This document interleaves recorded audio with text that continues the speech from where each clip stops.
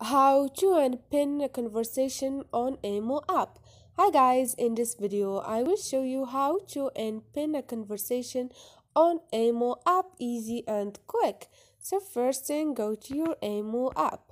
Once you are here, keep clicking on the conversation you are already pinned on your Imo and click on the conversation you want just keep clicking on the screen like this and they're gonna show up those options.